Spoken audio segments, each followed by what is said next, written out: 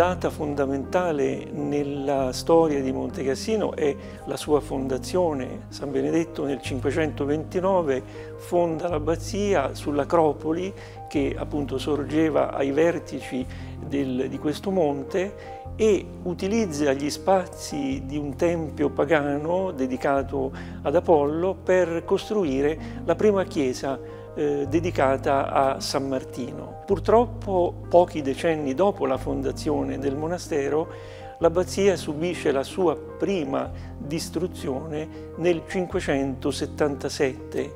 quindi 30 anni dopo la morte di San Benedetto il duca beneventano longobardo Zottone con una truppa appunto di soldati, di, di militi, ecco, distrugge l'abbazia e la comunità è costretta all'esilio a Roma. Nel 718-719 il bresciano Petronace viene inviato dal Papa Gregorio II a rifondare Monte Cassino e da questo momento eh, l'impulso che viene dato da Petronace avrà una espansione notevolissima e Monte Cassino vede nascere e rinascere la comunità e con essa tutte le attività legate appunto alla vita della comunità e in particolare anche quella dello scriptorium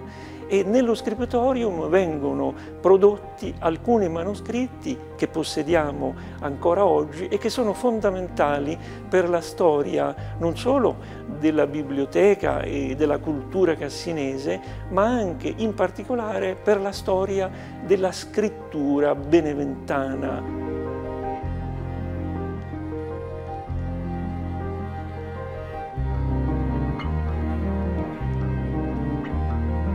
Eh, a Monte Cassino è presente il più antico manoscritto in scrittura beneventana che è il codice 753 che contiene le sentenze di Isidoro di Siviglia, quindi una sorta di commento ai principali passi eh, della scrittura e che come vediamo è appunto in una scrittura beneventana degli inizi che si va via via eh, canonizzando. E poi un testo eh, astronomico, il Libellus de Signis Celi dello Pseudobeta, eh, corredato da 40 stupendi disegni di costellazioni, come possiamo vedere, nei quali eh, emerge eh, tutto il patrimonio eh, formale eh, della cultura antica che evidentemente a Monte Cassino era ancora molto vivo.